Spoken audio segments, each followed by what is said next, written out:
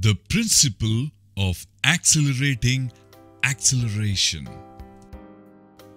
Once you have your goals written out, there are a series of powerful mental techniques that you can use to move yourself faster towards your goals and to move your goals more rapidly toward yourself.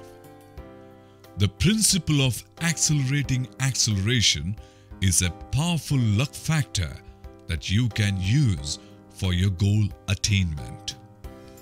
This principle says that whatever you are moving toward begins moving toward you as well.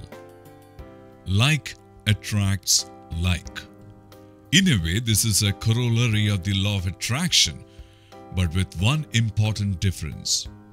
When you first set a new big goal and begin moving toward it, your progress will often be quite slow. You may be frustrated and think of giving up. The bigger your goal, the further away it will seem. You may have to work on it for a long time before you see any progress at all. But this is all part of the process of goal attainment. The 2080 rule helps to explain the principle of accelerating acceleration. For the first 80% of the time that you are working toward your goal, you will only cover about 20% of the distance.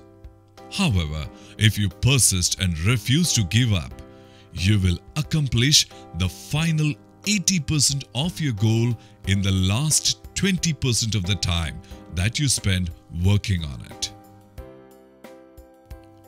Many people work for weeks, months, and even years toward a big goal and see very little progress. They often lose heart and give up. But what they didn't realize is that they have laid all the groundwork necessary and were almost at the takeoff point. They were just about to start accelerating toward that goal, and their goal was about to start moving at a greater speed toward them. This principle of accelerating acceleration seems to apply to almost every big goal that you set for yourself. You must therefore decide in advance that you will never give up. This discussion is one of the most powerful of all luck factors.